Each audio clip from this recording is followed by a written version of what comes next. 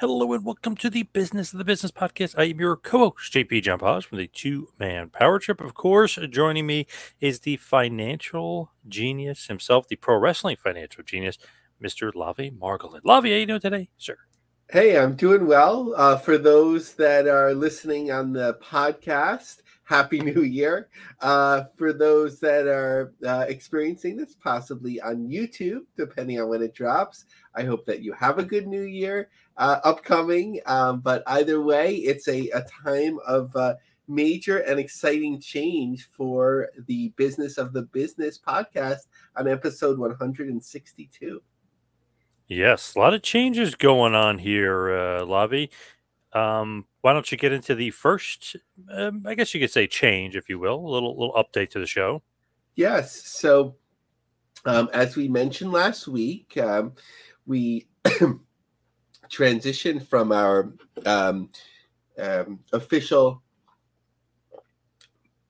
business podcast um, uh, banner. Um, we are now under uh, PW Ponderings. We are the official business podcast of PW Ponderings. Um, it's actually uh, extra exciting for me uh, because PW Ponderings, uh, Chris and, and the whole team there, uh, they helped me get started um, in, in this crazy world, meaning that around 2015, maybe even a little bit earlier, I had seen a, a posting that uh, under the PW Ponderings umbrella, uh, I think it was ROH World, that uh, people could submit some articles to be considered for the website. And that had been something I had been thinking about. Um, that I wanted to write about wrestling, write about the wrestling business. I'd been thinking about it, but I didn't want to put it on like um, uh, message boards or something like that, which I wasn't sure who'd be reading it and what the response would be. I wanted to put it out in a more public forum. So that really gave me the opportunity, allowed me to gain confidence and and grow um, into you know one of the reasons that we're doing this here.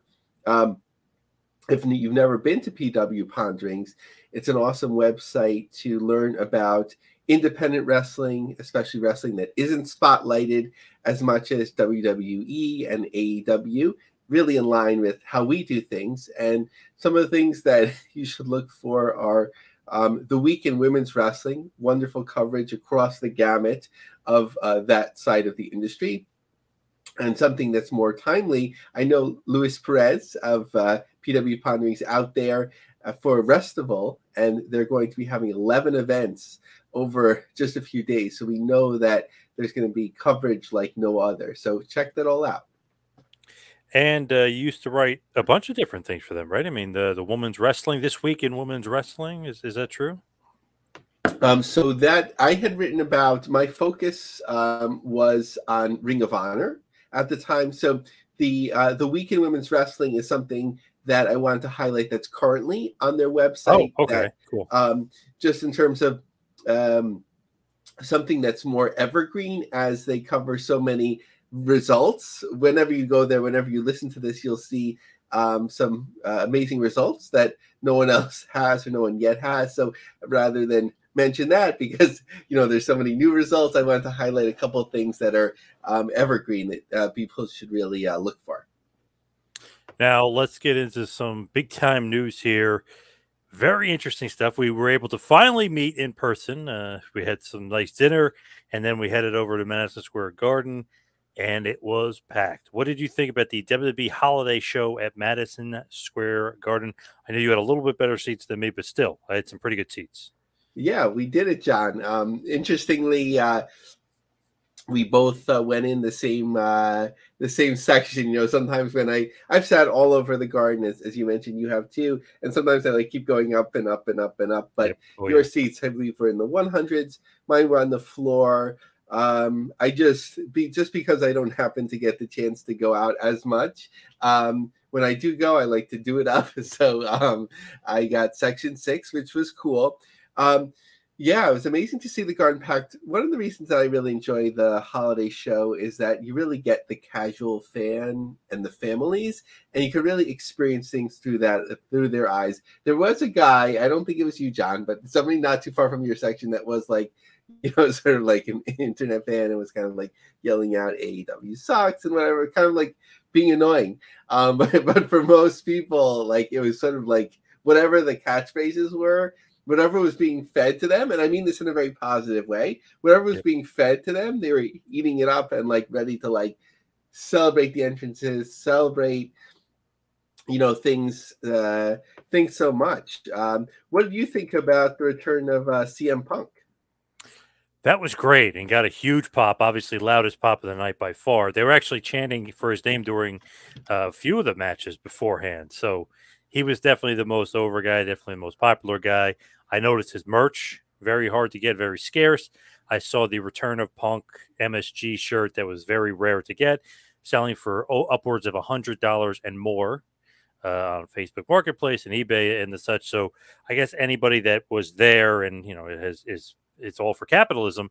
They took the shirts away from some true, group, you know, some fans that would really want it, and now they're selling it for hundreds of dollars on on eBay. But that just shows you how uh, popular CM Punk is. I mean, geez, is, is shirts, T-shirts from a house show we're selling for a couple hundred bucks. It's like pretty crazy.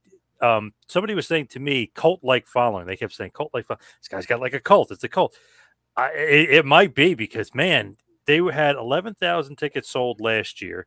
This year, they figured ah, 11, 12,000. We'll, we'll, we'll sell it. You know, we'll set up for that amount. And they kept expanding, expanding, opening up more seats, opening more seats. Like, okay, official sellouts about 16,000, and we'll stop there. And he sells out all the tickets. So, man, and I like the match too. And I liked his performance. I thought it was good. I love his the old school style a lot of the new school stuff where they don't have psychology, they don't sell, they don't try to draw heat. I hate that kind of stuff. So a lot of what he does is drawing heat. He's getting Rhea Ripley involved. He's getting Dominik Mysterio booted out of the building. He just was a master of psychology, if you will. So I really enjoyed Punker and his return. I just love the pop too, because you never know. Sometimes the MSG crowd, sometimes they could shockingly turn on you, but not not this crowd. They were they were great. Yeah, it was it was really um fun to see, and I you know I had been um, a CM Punk fan for a long time from Ring of Honor. Um, I, I, think I've told this story before on, on the show, but the first Ring of Honor show I went to was a bus trip run by Mike Johnson, now PW Insider. And um, when we pulled into the Rexplex before getting off, uh, we got um, a guest come on the bus, and it was CM Punk with the hand wraps and the X's, and there was a kid um, I think he's Mittens now. It might have been someone else, but I think it's somebody known as Mittens who was dressed as him. I was like, who's this guy? And who's this kid dressed as him? Um, and I didn't realize till later. And then I saw the show. I was like, whoa, you know, that's amazing. So huge fan in Ring of Honor. Um, love that run, like sort of like his end run in WWE. Then kind of like, yeah, I wouldn't say I was the biggest fan in AEW, but it was it was a really cool thing to see. Some other things that I wanted to note. Um, was you know just in terms of of course how many the you know sometimes the sum of its parts doesn't equal sort of like the results. So i mentioned um, a few weeks ago like with impact people back on a um, on a like promotional poster from 2015 and now you look at it and you're like look at all these people that are like huge stars. And some of them were then but like it looks even bigger today. Like um, a drew mcintyre Bobby Lashley, um, LA Knight, but it was different. Yep. But in WWE now, you see these like factions and alliances, and they're actually making um, the stars like bigger than they are individually. You know, of course, you have the bloodline, but you have like Rhea Ripley's, you know, group. You know, you have all these um, uh, different uh, different groups that are really over um, and um, you know really filling out the card well. Now, one tag team I know, like I, I'm really looking at it with fresh eyes. Of course, you know I'm familiar with them. I've seen their matches over the years and so on. But like to me, and I might be like overstating this, like Chelsea Green and sorry, I I shouldn't call her Doudrop. Right? What is uh what Piper uh, Niven? Yes, uh, Pepper Nevins. Um, to me, they are like a huge like star team waiting to happen. Maybe they already were, and I like missed the boat or whatever. But like, just the way they complement one each, one another. Like, I'm a big comic book guy. Like growing up, like it seems like this like super villain team up where they're both so different, but they complement each other so well. And no shade to the champions. I'm just not familiar with them they just just in that match they just didn't seem to have much. Whereas like Chelsea and Nivens, like they were just like you know huge stars. And Chelsea actually was the most over the match. They were cheering for her. They were cheering her name. They were actually booing, yaying when she was getting beaten up. so she was getting over as a babyface there too. They they loved her. Even she even she wasn't doing anything babyface like. They just love her act. Uh, so I think she's a future star, probably even a single star for sure. But uh, going back to Punk for a second, highest grossing, and I got to mention this, highest grossing non you know, uh, televised event in WWE history. So the biggest house show moneymaker ever, the return of Punk after 10 years to the God, to the God, and Vinny, to the God. I, I think um, what'll be interesting is if people, well, I think for pro wrestling, would be actually very hard to do. Like sometimes you go back and you'll be like, okay, how many tickets did Star Wars sell? And what were ticket prices in 1970, whatever? Um, and then you look at like today and be like, what's really success? But pro wrestling was often thought about as like cheap entertainment. Like even in the mid 90s when Knicks and Rangers tickets weren't cheap, but WWF was cheap. Like it was like right the Azard show like 12, 15, and 20 dollars seats. $20 yep. was a great seat. So yep. even if you were to say that's $65 today, whatever it is, still you wouldn't catch up. So it's it's being treated as uh, we, we talked about a little bit of um, funflation, where entertainment has gotten much more expensive. So yeah. that's something to think about, but also to think about Madison Square Garden has gotten more expensive to book, right? And yep. WWE doesn't use it that much. So yep. I know that there's certain costs for television and pay per views.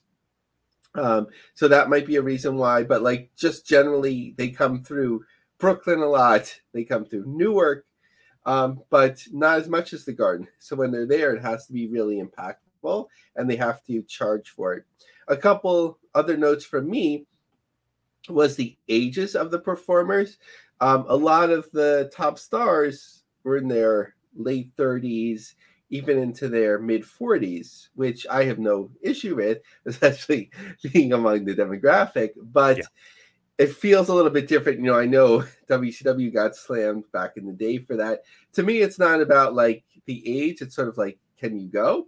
But it's really indicative of how long it takes to pick a performer. I know, I believe Conan has, has talked about this. Like, right when I was in the locker room, it was men. You know, I think somebody, you know, we've, we've seen breakout stars in their late teens, even people in their early 20s, and each could be harnessed. But like, sometimes it is that maturation process and, and finding um, the right balance on this. And finally, and, and, a very small thing to some people, but I think of note, you know, in the show, yes, when when I got the um, reminder about going to the show in my email, it had the very bottom the PBR, the professional bull riding, which we talked about last time, and a couple of times during the show they put it on the screen that PBR was coming in in January, and this is Endeavor, right, which spun off TKO, TKO Endeavor synergy. So a little thing. Um, we'll curious to see if there'll be like more of a footprint. I don't think it would have gone over well if they like came out to interview a bull rider or something like that. I think I don't think people would want to see a bull, you know, walk down the aisle or whatever. But um, interesting to see how they are utilizing that opportunity in a light way, which makes a lot of sense. Let's say I don't think most people noticed it, but if you got 400 people uh, to buy tickets because of that, then that's like a big win. Absolutely. I, I, think it's funny though, the PBR synergy stuff. People like, the hell is this? Why is there so many commercials for bull riding and at, at MSG? But hey, it, I guess it's popular in, in some demographic. But overall, though, I really enjoyed the house show. I enjoyed the bull rope match with Cody and Nakamura. The tag match with the Judgment Day and Uso and Sami Zayn was good and Seth Rollins versus McIntyre was was good as well. So good show overall. I was uh, pleasantly surprised with it, and Omos got a little bit of a reaction there, squashing R-Truth. Yeah, there, there's something to that giant thing, right? Walking through the uh, walking through the airport. I remember um, years ago um, when the Wyatt family, like I, I had a good seat then too. Not every time, but I had a good seat then too, where it was an aisle seat, and I remember like the Wyatt family walking down. And I think this is Braun Strowman before he was like active much on television. He was more like accompanying them, and you just like look at him, and it's like, whoa, you know, there, there's something about that. So even if there's a limited potential for an interaction, you never know when when it clicks for somebody, and it could be the biggest deal in the world. But there there's something to that, um, and that was like a fun little segment. And and I will admit, like I texted you, John, like to me. Drew McIntyre in my mind, and I'm sorry for this. I know in no one else's mind anymore. Just three man band. I can't get past that. I even went to the Evolve shows where he really broke out and yeah, and, me too. Um, yep. and I had no issue with him there, and I enjoyed it. But like to me, like I can't see him as a main eventer, and I'm sorry for that. I know, I know, uh, I should get past that. I got a very important question for you though. Is cable TV still mainstream exposure now? So, taking um, an article from our friend uh, Gavin Bridge, um, uh, the Fast Master, um, who was writing mostly focused on a very different topic in terms of our is fat our fast channels. Hopefully, Gavin, I'm not re- misrepresenting this, but our fast channels sort of taking away from cable television viewership. So I'm not looking to solve that today, but based on some of the data points that um, were that we shared discussed last week, but not from us um, about uh, television viewership, Gavin um, brought some interesting points aboard. Um, one of which was that there are very few, there are um, 62 cable networks that have an average of less than 150,000 viewers watching live in prime time. So, right, like when we think of pro wrestling, um, no, uh, pro wrestling viewership that's under 150,000, depending on the network, we often think about as quite low. So imagine that there's 62 cable networks of variety, of different varieties and different types that um, that have low viewership. So when it's less than 150,000, is that mainstream, right? That's something to really think about. So between a thousand and 49,000, the closer to a thousand, of course, is uh, beIN Sports, which averaged 3,000 was 25 networks between 50 and 99,000, 22 networks. Um, and then um, growing, so that's 47. And then there's uh, doing some quick math, about 15 more that are between 100 and uh, 150,000. Ooh, I don't know if that's uh, I don't know, like a sign of the times they're moving too fast, or or that they're moving to streaming, which is now getting commercials anyway. It's like I wonder if uh, times are a change in here. Yeah, so that that was sort of my premise, and I I didn't delve into the article as deeply as I, I wanted to yet from Gavin, so I don't want to like um, start dissecting a, a, thesis, a theory, uh, before knowing all the facts. But I think it could, I, and one of the theories uh, Gavin looked into it in terms of like talking to some of these uh, fast station owners or, or, managers that they do some comparable ratings to these numbers in, in certain buckets. So that is one of the things, but I think there's so many different things, right? So many different ways to consume media and content, um, even social media. Um, that I don't think it's I don't think there's a way to directly correlate to something like fast. I think fast is one of the ways that's chipping away cable TV, but I don't think that it's the main uh, the main way. It's not affecting football. I'll tell you that much. Oof, my God, some of the ratings for these football games were nuts. But uh, as far as you know, maybe a little bit of fast, or you know, some of those channels, the Pluto channels, great streaming channel, they have uh, something maybe that surprised you a bit, right? Or or maybe they didn't. Maybe CW surprised surprised you.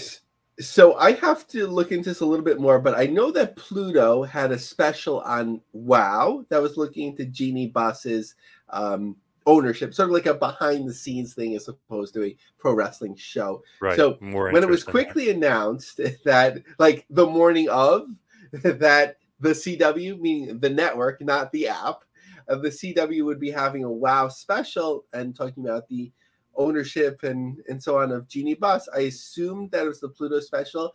I have to look into that to confirm that.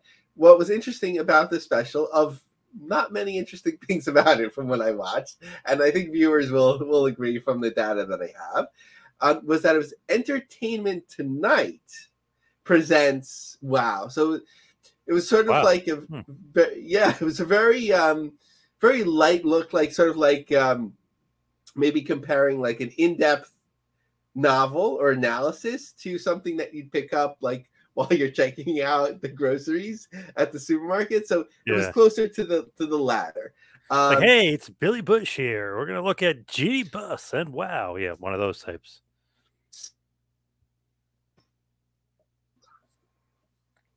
Exactly.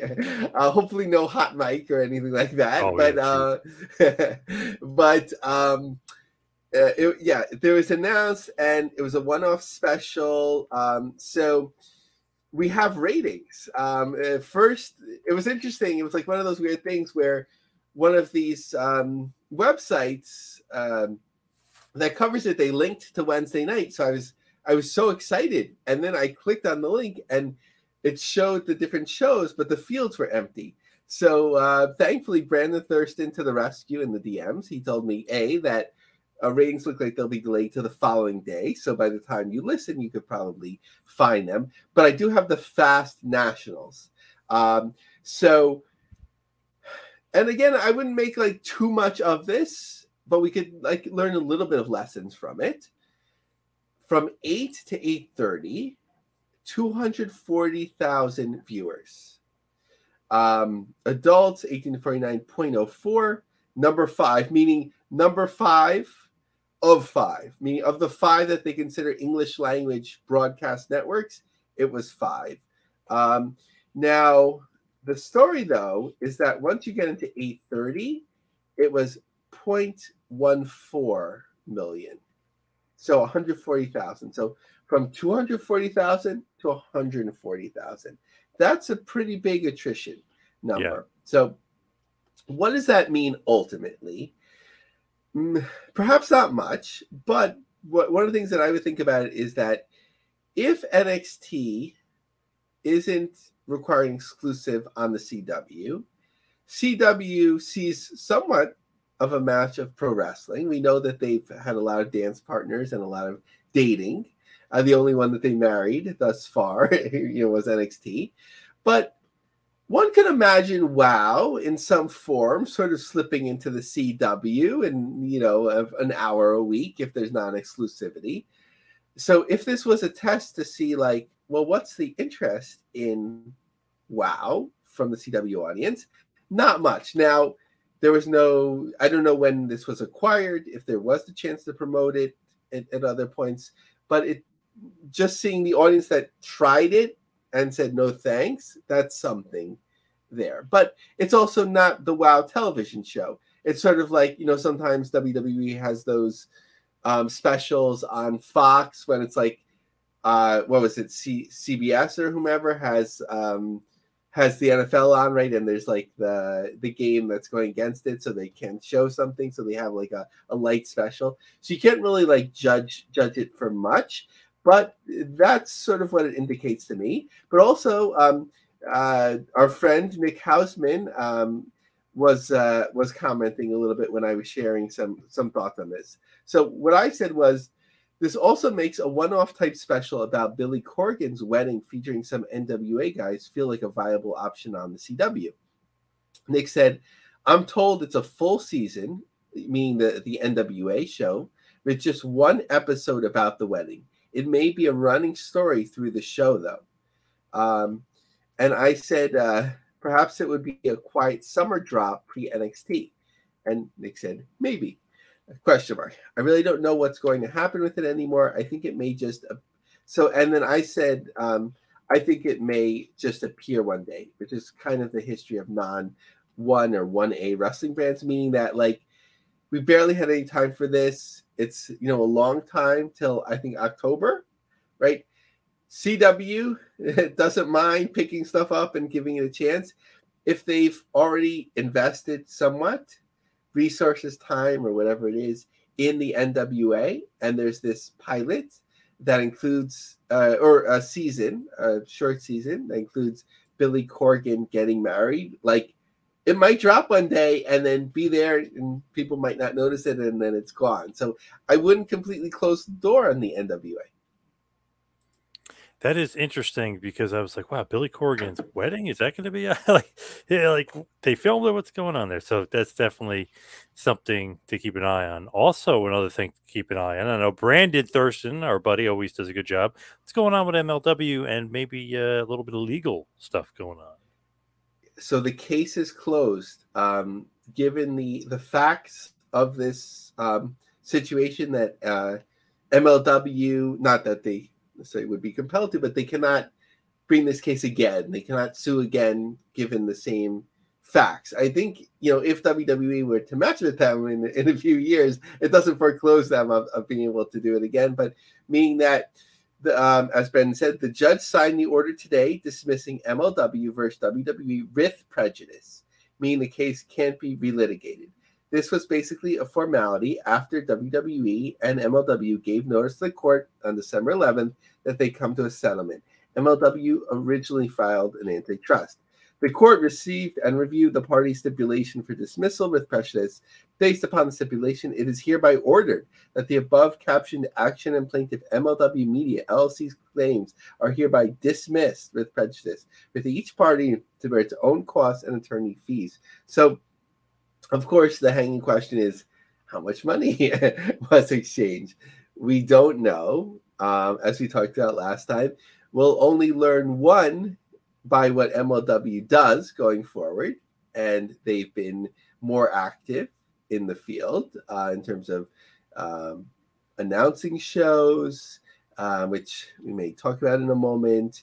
Um, uh, uh you know, booking uh, Matt Riddle, and so on. But what might give us some insight, and I don't know if they actually have to disclose the the actual fee, um, is when TKO reports if there's a, a re- there would be a reference that the case was settled, but I don't know if necessarily they have to give a number, and there might be some sort of confidentiality clause. Maybe some people can dissect the financials to sort of determine the number. So that'll be something curious next time there's the opportunity to file. So I'm looking at um, MLW's upcoming schedule. Um, no surprises from last week, but just to review um, on January 6th, they'll be back at 2300 Arena, as well as on um, February 3rd. On February 29th, um, there'll be uh, the show in New York at the Melrose Ballroom. Um, and March um, generally is their Blood and Thunder show. Um, Cage Match has it scheduled on the March 12th, and on the 5th. So in May, uh, sorry, in May on May 11th, MLW Azteca Lucha show at Cicero Stadium. One of my favorite places to um, watch MLW on television, especially when it was hot with Contra, um, some of that. Uh, some of that action. Um, they had announced that it was some of their fastest selling tickets in, in a number of years, which may be true, uh, but it didn't look like that many tickets, you know, had been moved. How about New Japan Pro Wrestling? I was pretty shocked to see Hiroshi Tanahashi, his name pop up as far as being a president of the company. Is this true? Is he really the president? And what kind of impact may that have on uh, the, the United States? Yeah, he's really the president. Bushiroad is a public company. New Japan um, announced this on their website along with some other executive moves. So, to dissect sort of what it means for New Japan business overall, maybe a little bit out of my purview. Um, uh, you know, it seemed clear that they had been struggling in some ways, so change is good, but change hadn't been too far in the past. It's always interesting when an active star gets the book, so to say, or becomes the, the executive, maybe um, and you know the two most applicable examples would be Triple H and Inoki. Uh, yeah. right uh, with New Japan and Inoki for you know so and and Baba uh, of course um, concurrently and then ending of course um, before Inoki um, that was quite successful when it's done where you know where it, the public sort of knows who the you know who's the head like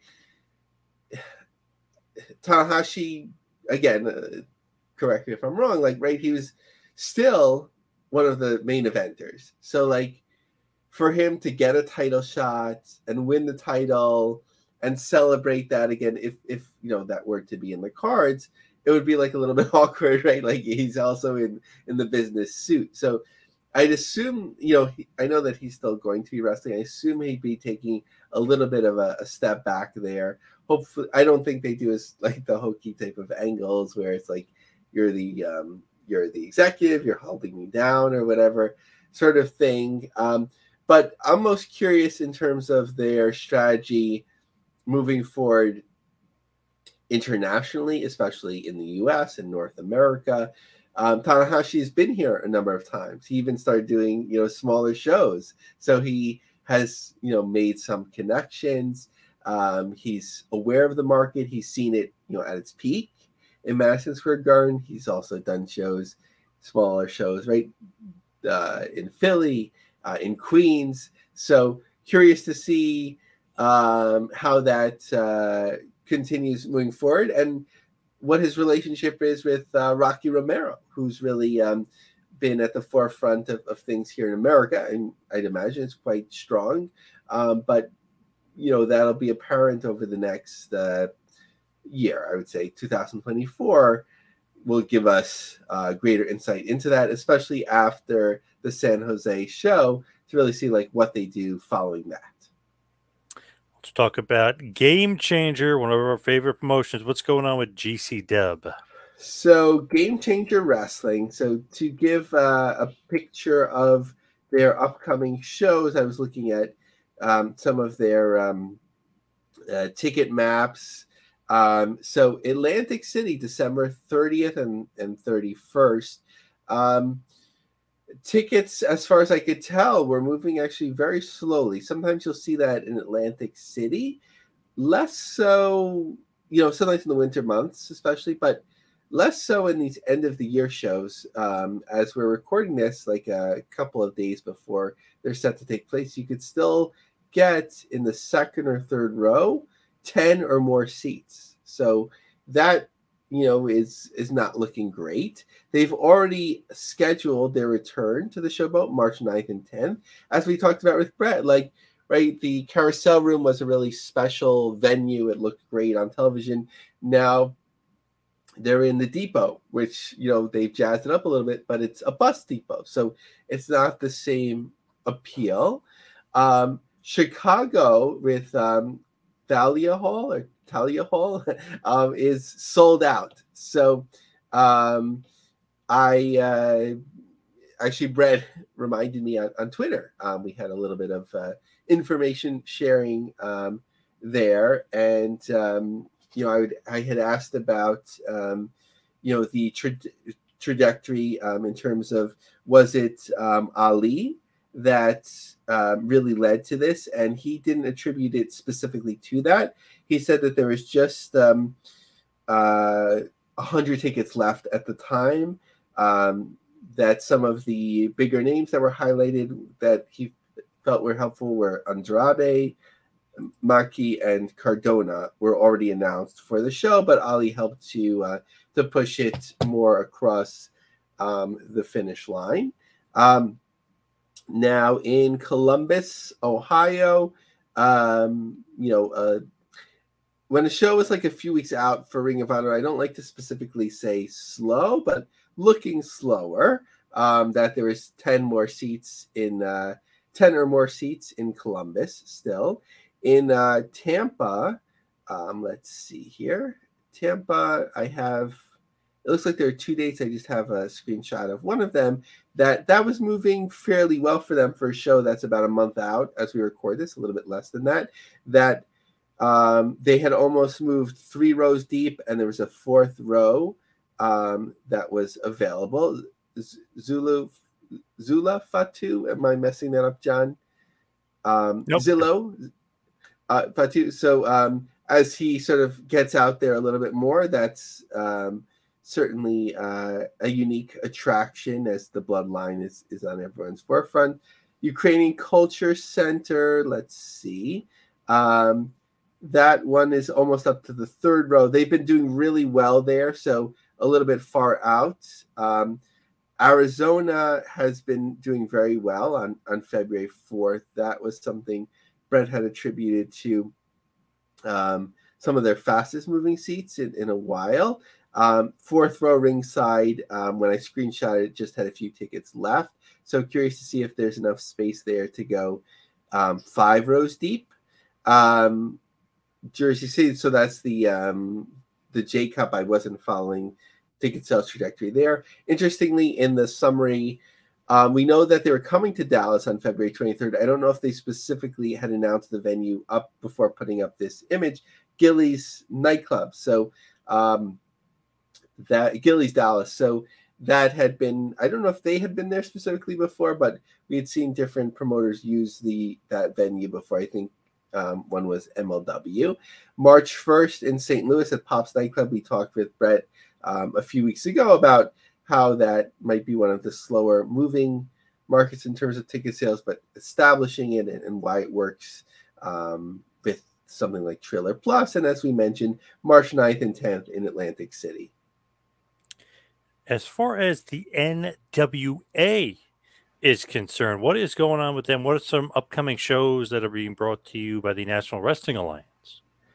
so interesting to see like some of some of the ways that it's being filled out as they have their um, alliances some uh, more formal than others but um, following the uh, exodus pro colder weather show in cleveland that they did um, in december now on january 13th they have a double shows uh, in fort lauderdale on the same day so buy a ticket, come back, and so on, which is a hard sell. But NWA Paranoia, uh, which is a great title, and they're also teaming with uh, CCW Viva Revolution.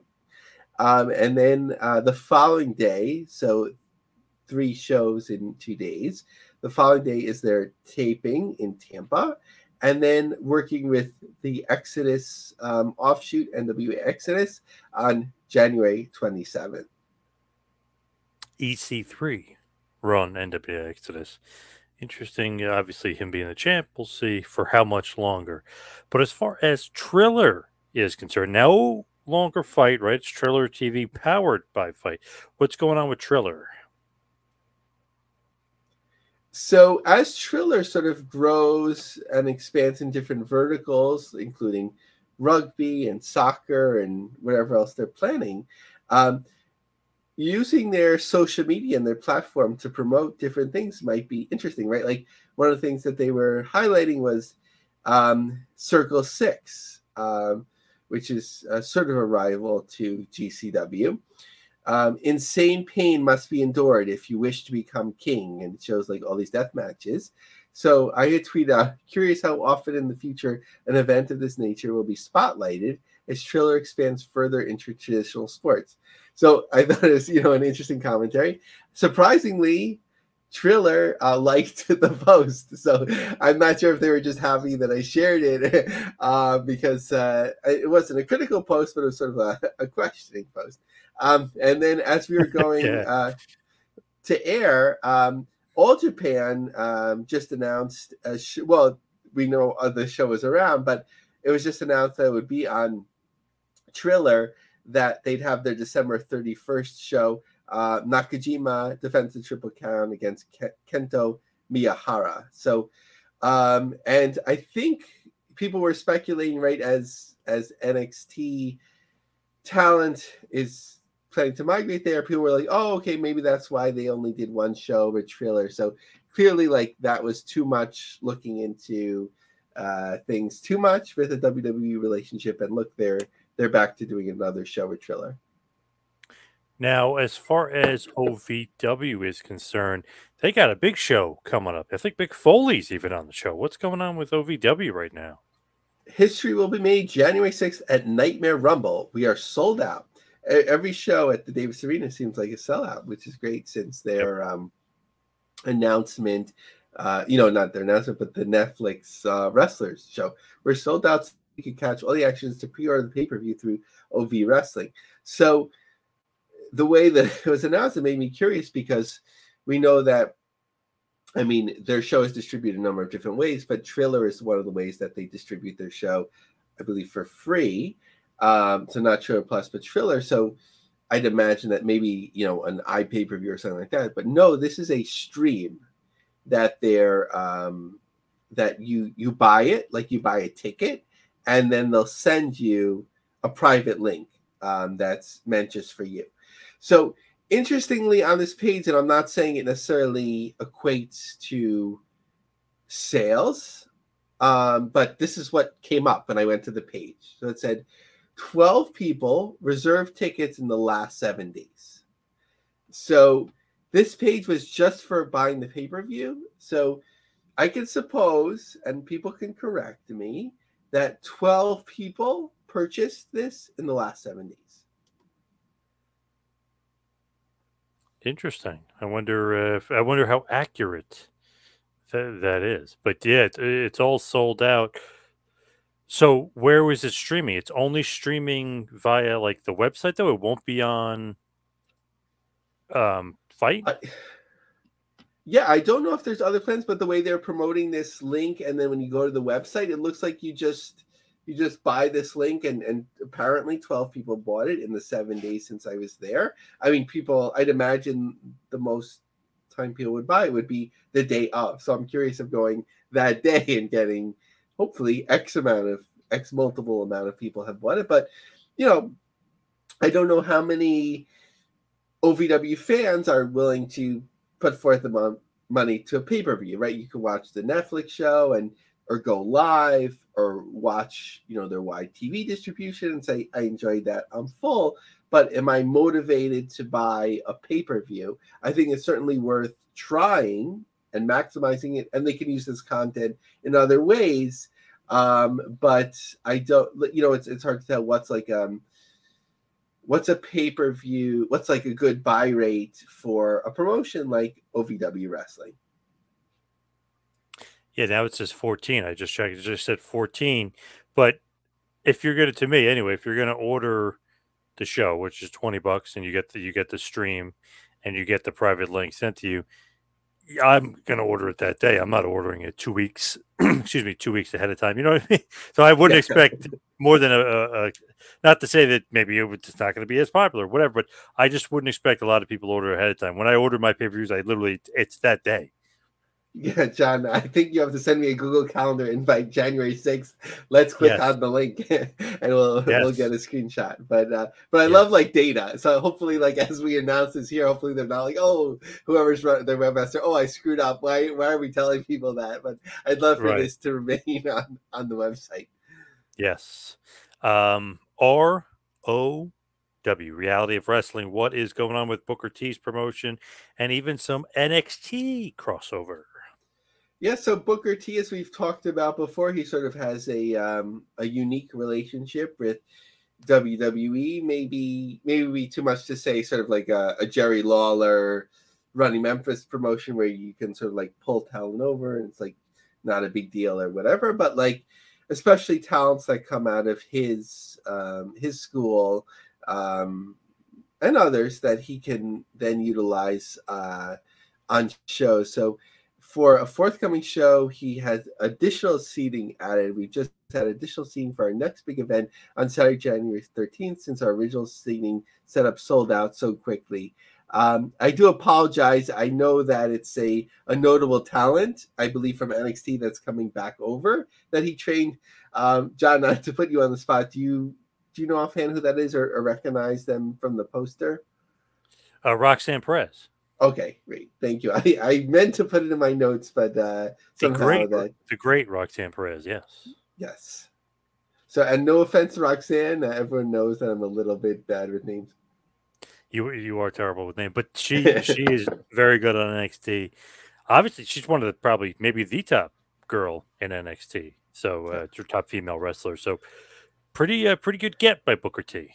Yeah, and, and not to railroad us into a different discussion, but until probably to me, and, and again, obviously the very casual viewer, prior to the bloodline, I feel like the the women were like killing it in WWE at all levels. Like their um their feuds and their matches and um Becky Lynch and, and so on at the time.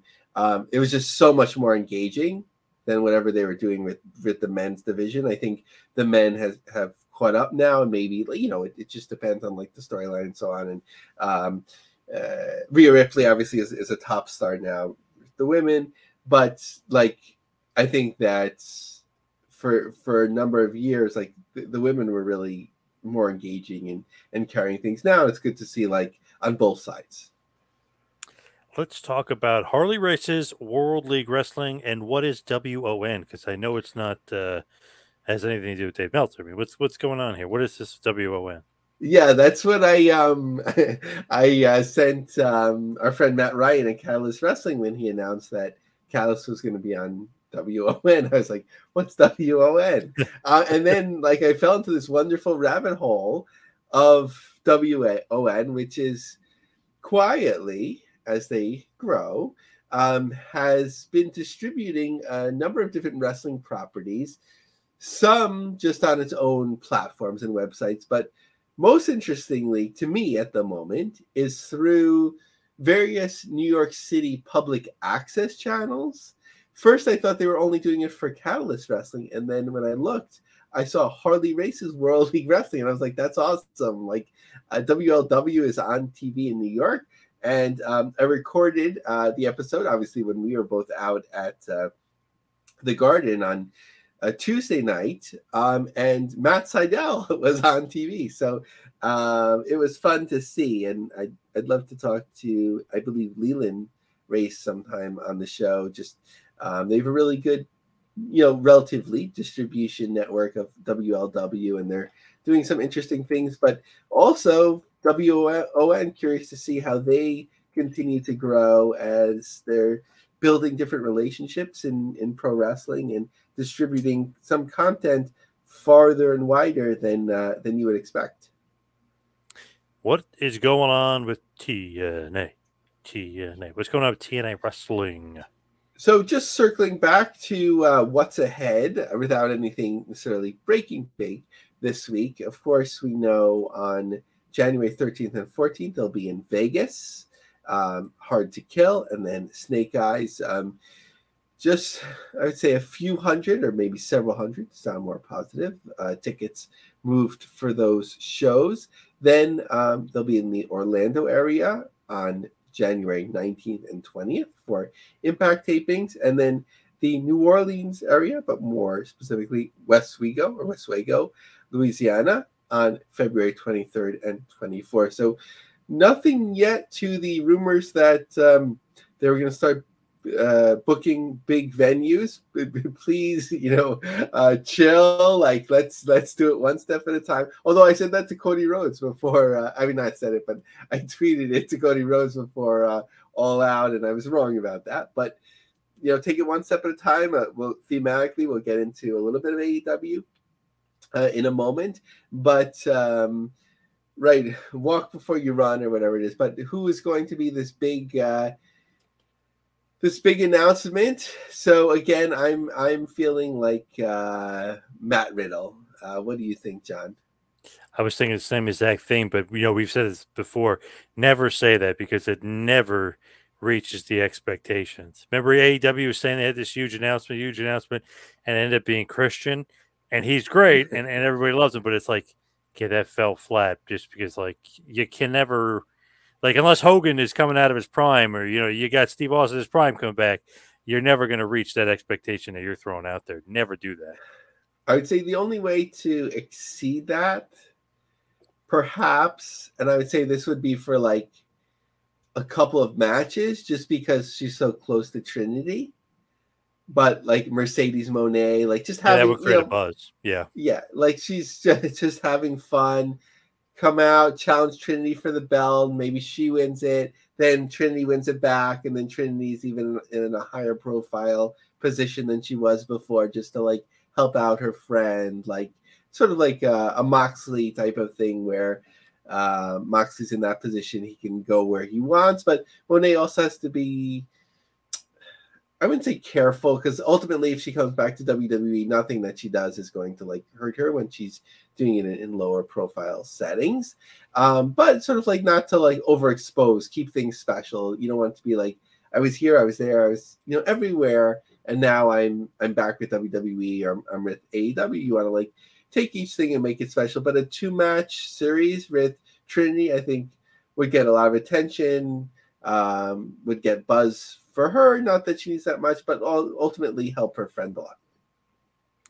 What is up with the Hamburg Fieldhouse? Is it going away? What's going on? So uh, a few weeks ago, we were uh, unfortunately ready to say goodbye, but it looks like you know that Undertaker meme, like the the hand from. I think I'm missing the camera, the hand from the grave or whatever it is. Yeah. People get what I'm saying.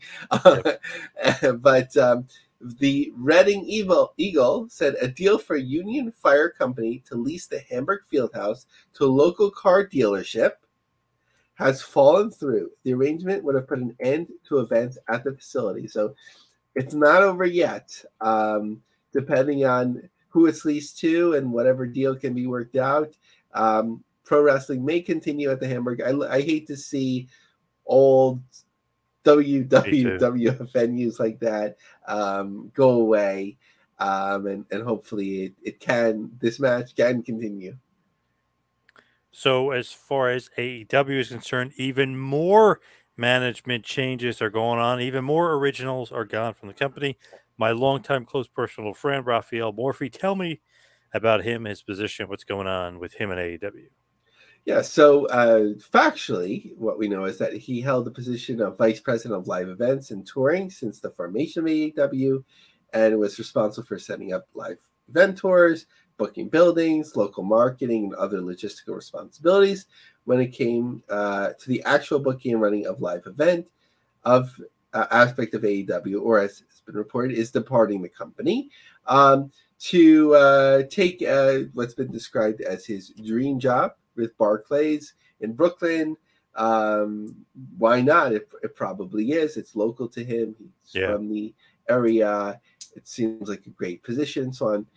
However, um, one thing that I do want to note was that in his role with AEW, he was put in a very, very difficult position, meaning that you know when, when you're in charge of live events, it means that like you should be able to get some of the glory, even when the company is very hot, but you also shouldn't get a lot of the blame when the company is cold.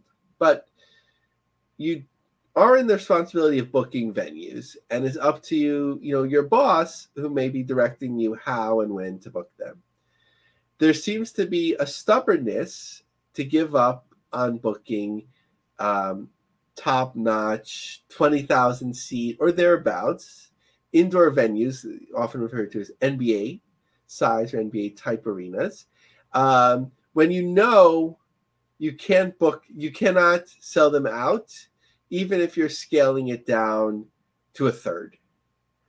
And the fact that AEW, right, I'm like standing in a soapbox, but the fact that AEW is still doing that is an embarrassment.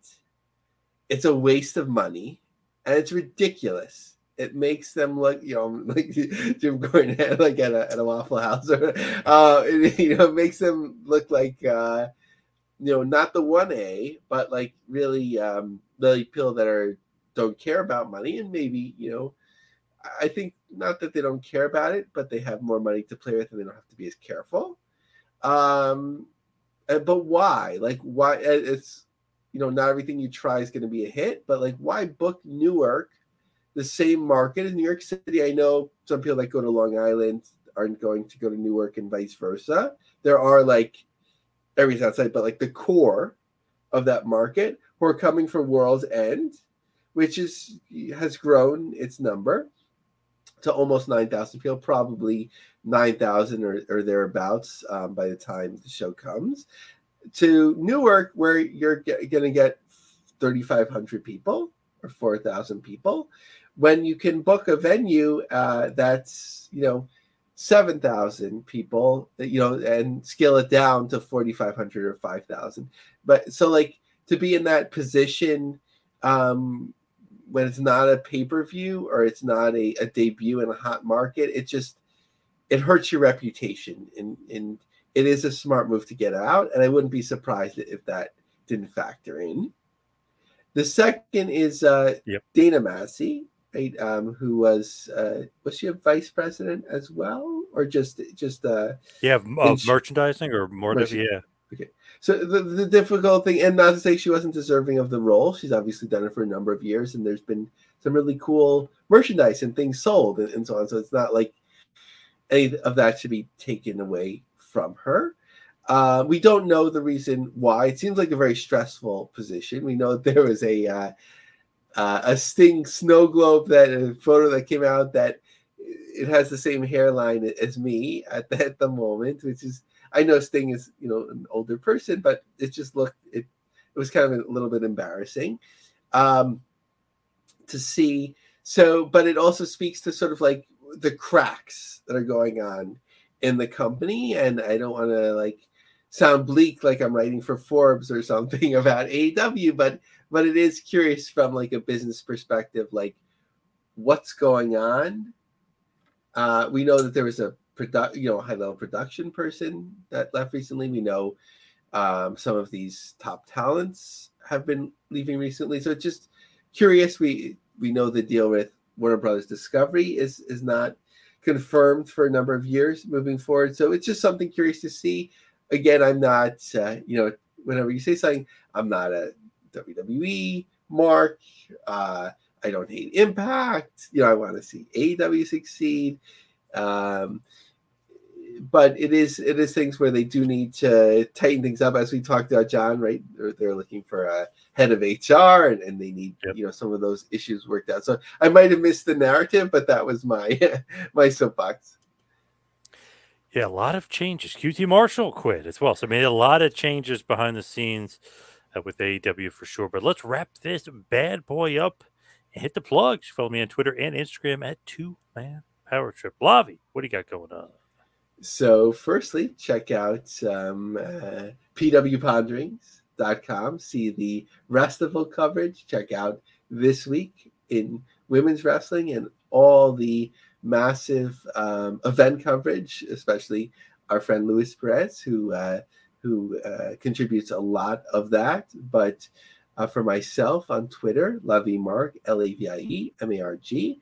Check out my long form articles on lioncubjobsearch.com and check out uh, our LinkedIn group, The Business of the Business, which now includes um, job listings. I recently shared a wrestling writer uh, job as as well. So for a website, not for a, a promotion, but we have uh, had promotional job listings as well. So when I see them, I share them. Nice. Awesome stuff, Lavie. Thank you, everybody, for tuning in. See you right back here next week for a little business of the business. We'll see you next week, folks.